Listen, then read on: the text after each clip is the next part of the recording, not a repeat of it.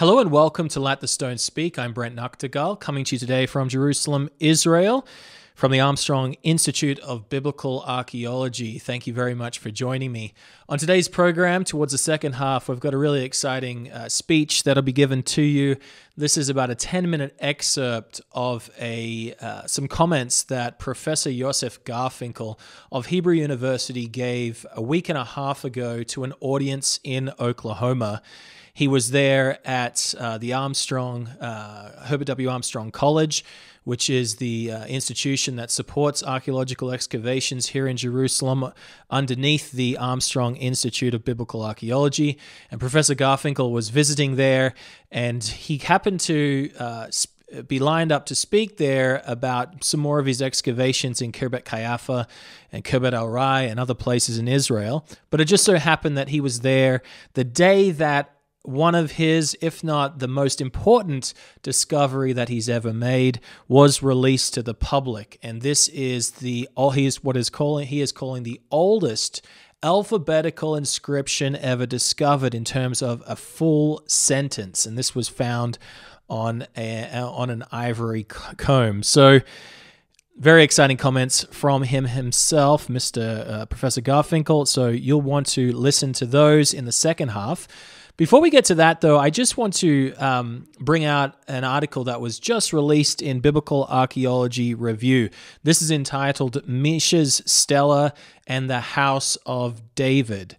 And so, if you're familiar with archaeological debates, over the past uh, 30 years, the most iconic figure of this debate is King David himself. This is someone that we are um, very much into uh, providing as much evidence as possible for his reign, at least being honest with the discoveries that have been made in Jerusalem and elsewhere.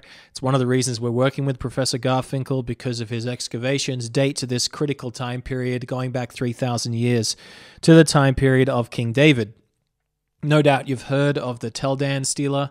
Uh, this is a, a, victory stela or a big monumental uh, inscription written on stone that was discovered in Tel Dan all the way into the north of Israel, discovered in 1993 in secondary use in a wall up there, and that mentioned the house of David, Bet David, as it said on that inscription. And so this was an amazingly important discovery um, because it put to rest the the debate whether King David was an actual historical personality. Of course, he's mentioned throughout the Bible, biblical promises based on him, biblical authors all the way through the Old Testament. Uh, talking about King David as a historical personality. Some believed that he was historical fiction or a recreation or a creation of later authors. Um, some people still believe this to this day in terms of the, the grand acclaim that the Bible puts with King David. However, today they accept his existence based on this discovery that came out 30 years ago. Now, there is another inscription, the Mesha Stela or the Moabite stone, that in 1992 uh, some archaeologists or some uh, epigraphers uh, one which Andre Lamar, Lamare, if I've pronounced your name incorrectly, apologies. He came out and said that this inscription, which was discovered about 150 years earlier, massive inscription, also mentioned House of David, or Beit David, Bet David. And over the past 30 years, his uh, the understanding of whether or not there's been big arguments back and forth because the the original stone itself, uh, the original inscription itself, that was recorded sometime. Uh, it looks like in the 9th century uh, BCE, so 100, 100 or so years after David, 150 years after David. That was destroyed, broken down but not before a, a, squeeze was made of it. A squeeze, like a, a, kind of like a paper mache indentation of the actual inscription itself. And so we have both of these part of the actual uh, inscription and then a squeeze that was produced before the inscription was broken down, broken. And so since 1992, there's been this ongoing debate whether it says House of David or not of House of David. Well, this article in the Biblical Archaeology Review puts it all to rest, or it should do, put this argument to rest finally, that the Mesha Stela as well says House of David. Now, the Aramaic in uh, the Tel Dan Stela uh, has an extra letter in Beit. Um, this one doesn't. Uh, it's got the it's got the B and the T, if I can call it that, in these uh, ancient alphabetical languages, and then David written right after that. I'll just quote from this article right now. This is written by Andre Lemare, uh, Lemaire, uh, and Jean-Philippe Delorme, or something like that. Um, apologies for my lack of ability in the French language. Nevertheless, this is what these authors say, and this is the one of these is the original uh, proponent of this inscription mentioning House of David. And this inscription is so important. And uh, outside of even the House of David, it talks to the geographic setting, uh, the, the a, a, scene from that kind of matches with the Bible. It talks about the tribe of Gad. It talks about the House of Omri in the north, uh, the northern Israelite state, if we can call it that. So there's other biblical figures that are confirmed from this uh, inscription that was written by the Moabites. So this is the people that were across the Jordan River, just uh, kind of south um, towards the eastern the the yeah the eastern side of the Dead Sea. So this is a very important inscription. Inscription. Uh, reading from this article, and I'll leave a, a link to this in the show notes of today's program. It says this the authors, despite the inscription's importance and uniqueness, rivaled perhaps only by the famous Tel Dan stela discovered in 1993, many questions remain about its content, especially whether the expression Bet David, House of David, meaning Bet meaning house of, and David uh, meaning David, can be found in a fragmented and particularly poorly preserved portion of the text. While I, speaking of the original proponent, uh, first proposed this reading nearly three decades ago based on paleographic and contextual considerations, especially the text's internal parallelism and the date of the content of the Tel Dan Stela, very much the same time period as the Tel Dan Stela. Improved photographic evidence has allowed scholars to gain new insights into the Stela's most problematic sections. These insights, which we discuss here, not only confirm that the Mesha Stela uh, or the Mesha Stela references the House of David, but also allows us to draw new conclusions about the various historical and biblical events described in the text. And it goes on to talk about how there are a series of new um, photographs, different imagery that was taken in 2015 at the University of Southern California.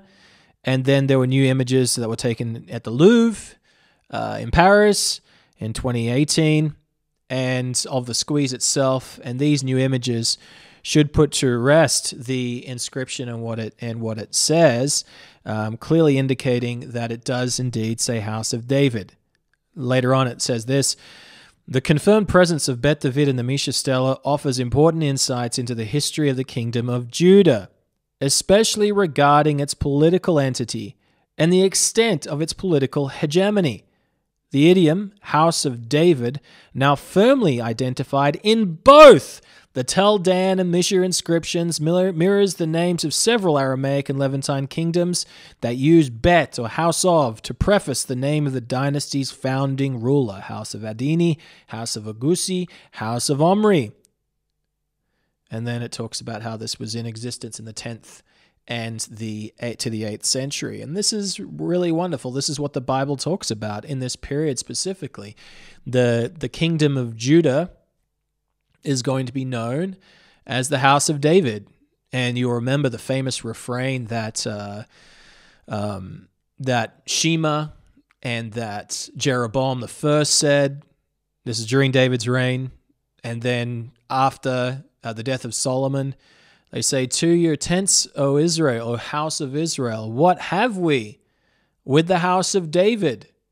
With Bet David, it's time to get out of here. They, they're not going to treat us fairly. Let's break off the kingdom of, from the kingdom of Judah.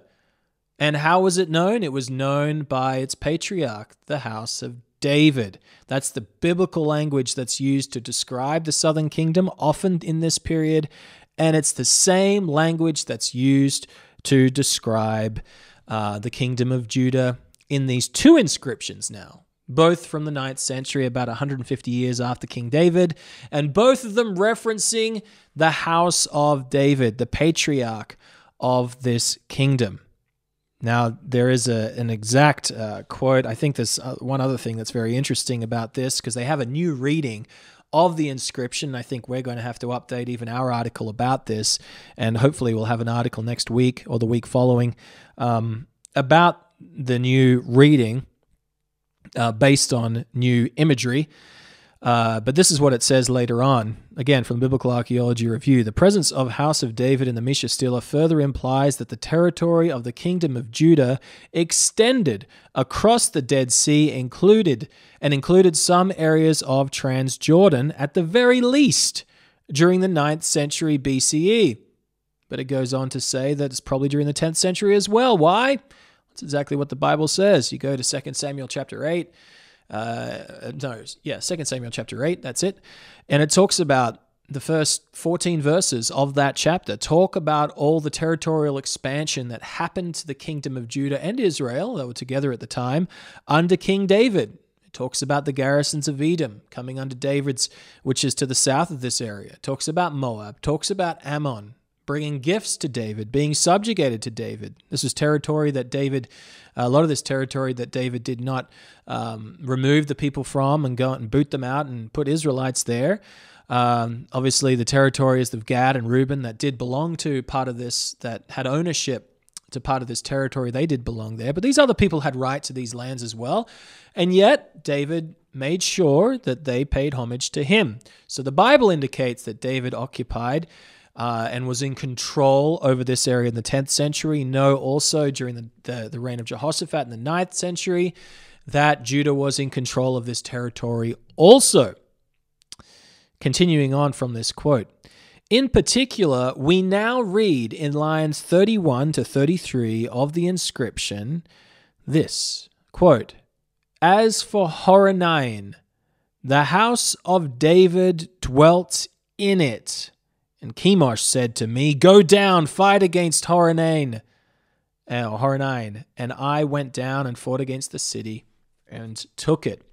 So, just an interesting new reading uh, to this, and not just the context. Well, not just the con. What's important is not just this new reading in terms of the context of who controlled this territory and when, but the fact that now we have another inscription that mentions the house of David and inscription that is confirmed, confirmed by several archaeologists. I do remember a program that I gave back in 2019.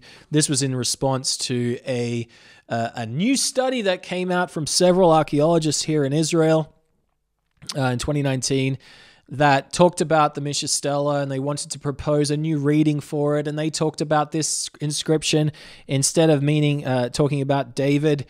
Uh, this portion of the inscription possibly, most likely, maybe even references Balak. Balak, the, the, the leader from the, from the story of Balaam, you'll remember from the Bible.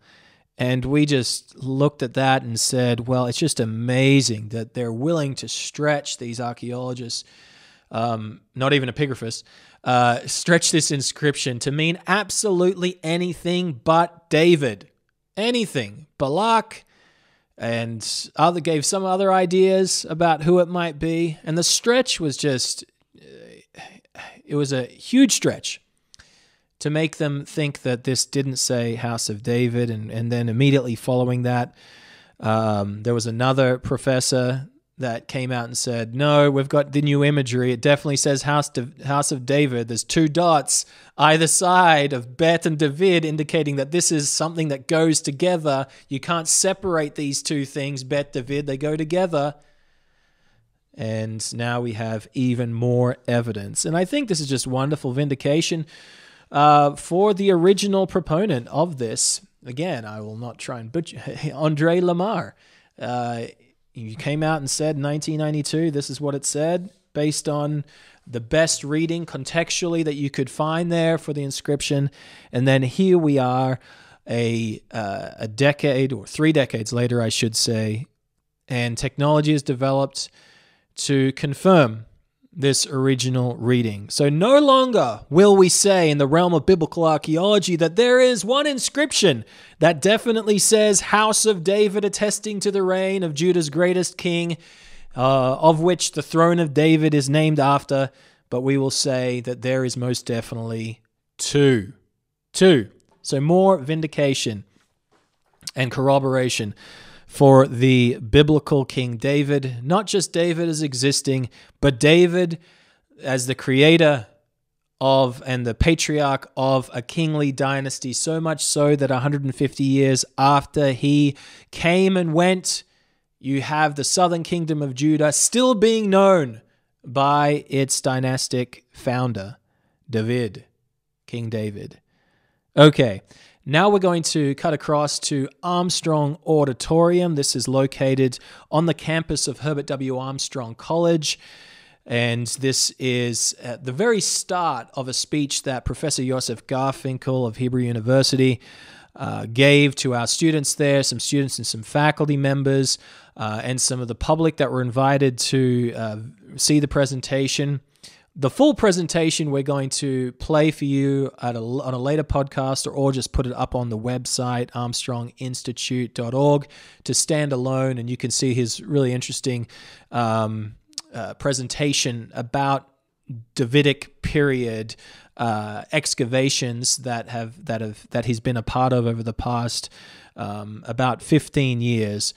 But right now we're going to go to his first public remarks following the discovery of this 3,700 year old alphabetical inscription, the earliest alphabetical inscription discovered in Israel and here is Professor Josef Garfinkel. Okay, okay. It's okay, it's a great, a great pleasure to be here uh, this uh, afternoon and to give you a lecture about the work I'm doing in the last 12 years or so. And it's a wonderful uh, welcome. Uh, I got a wonderful welcome uh, whatever the word is. See, English is not my mother tongue, but I really enjoy, I'm enjoying very much to be here. And yesterday we saw a wonderful foot uh, basketball play, which you know last and last and last with two more extensions. And in the end, oh, poor Oklahoma didn't win. Anyhow, I will talk today about my excavations in two sites which are identified as Sha'araim and also in Ziklag. But before, I was asked to give you a uh, moment to, to this specific uh, discovery that you see here. This is, this is an ivory comb, and it's only three centimeters. That means an inch and quarter of an inch. Very, very uh, small. As you can see, one side the teeth are well preserved and they are quite condensed. The other side has bigger teeth, but all of them has been broken. But you can see part of the beginning of these uh, teeth. And it's quite similar, as a matter of fact, to modern teeth, but to modern uh, combs like this with two type of teeth.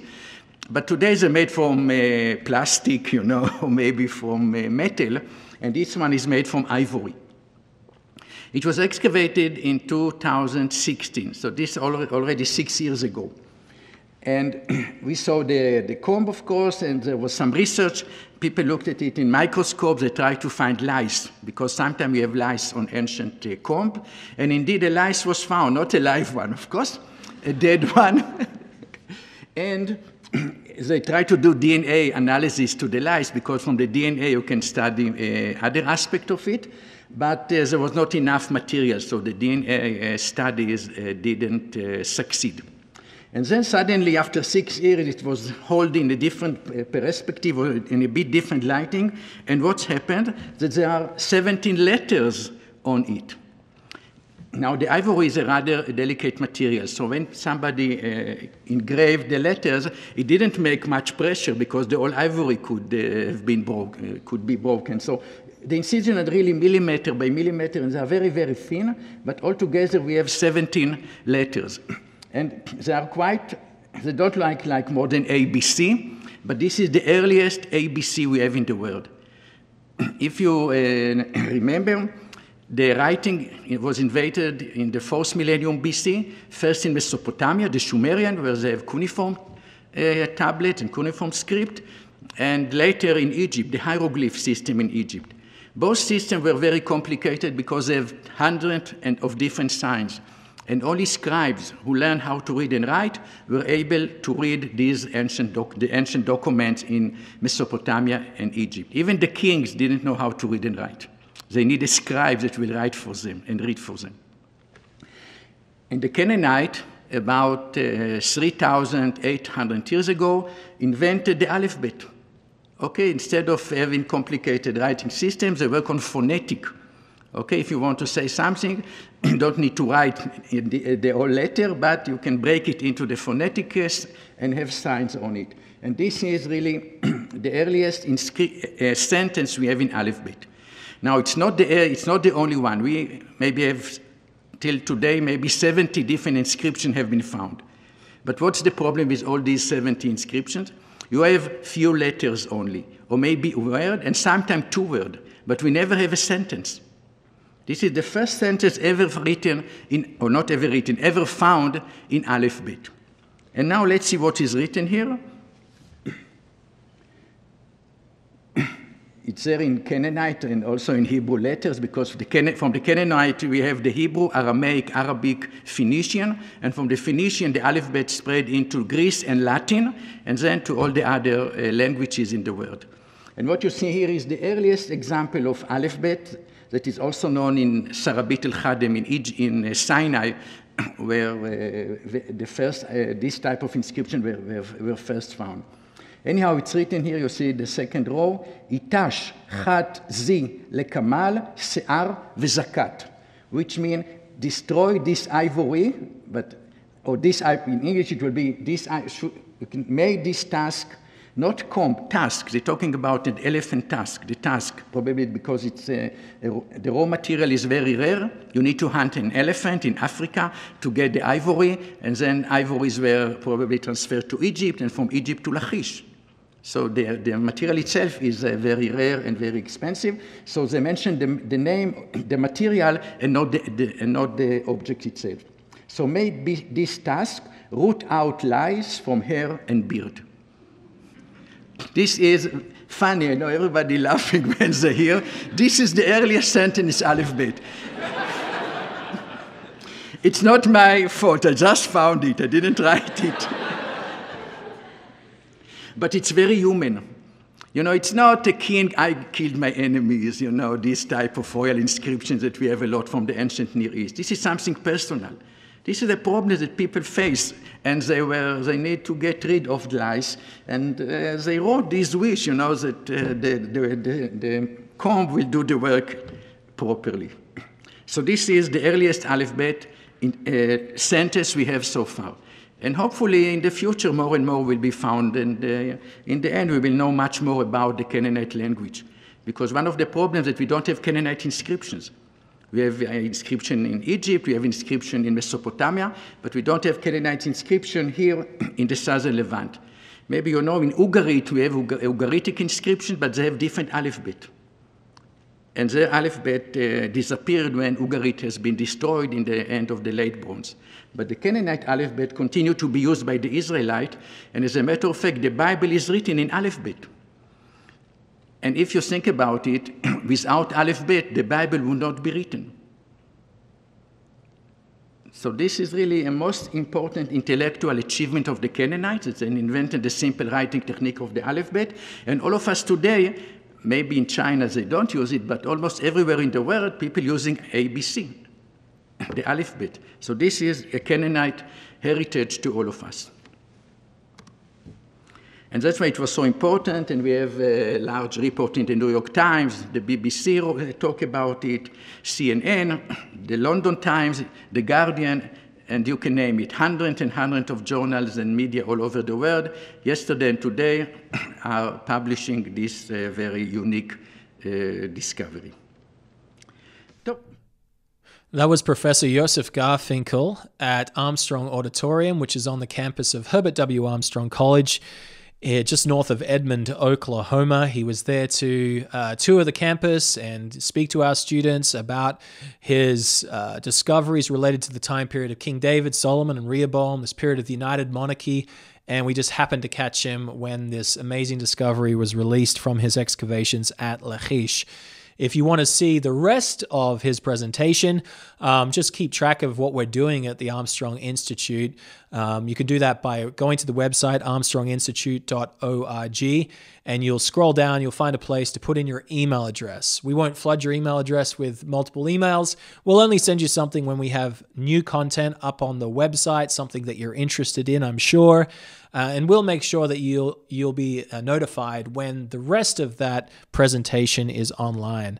Also, what you'll find there on the website is a place to sign up for our free biblical archaeology magazine. This is called Let the Stone Speak. The latest issue has features the life and work of Dr. Eilat Mazar, uh, this really just wonderful lady who excavated here, archaeologist and scholar, excavated here in Jerusalem for decades.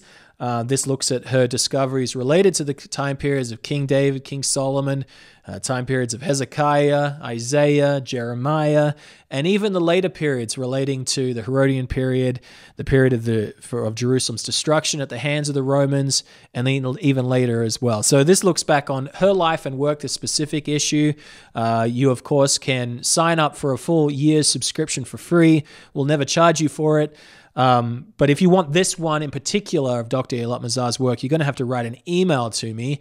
Uh, you can uh, write an email to letters at armstronginstitute.org, letters at armstronginstitute.org, requesting this issue. Simply put your name and your physical address.